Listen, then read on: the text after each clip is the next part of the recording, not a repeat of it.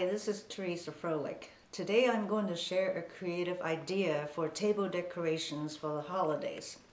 Since Christmas is coming, you may be thinking about ideas for table centerpieces for your family gatherings.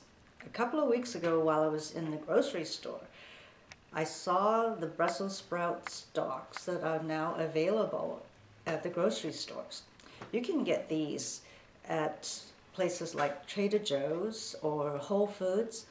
They're readily available and they're not very expensive at all.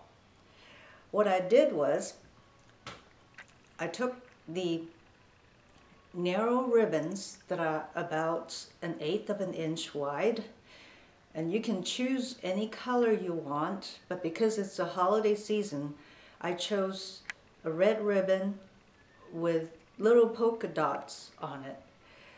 And I cut them into pieces that are just long enough to tie a little bow around some of the sprouts.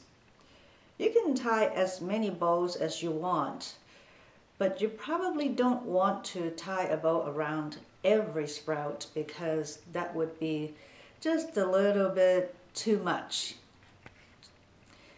So you can choose the number of bows that you want.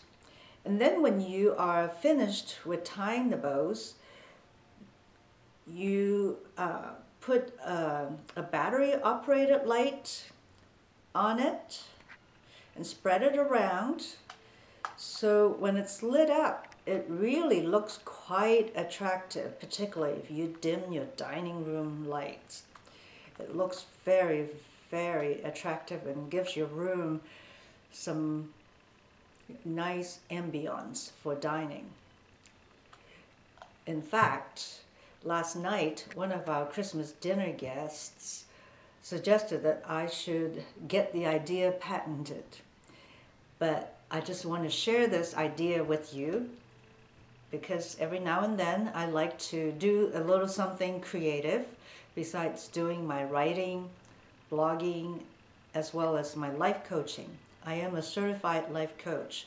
And if you want to take a look at some of my writings, you can go to www.transitionslifecoaching.org.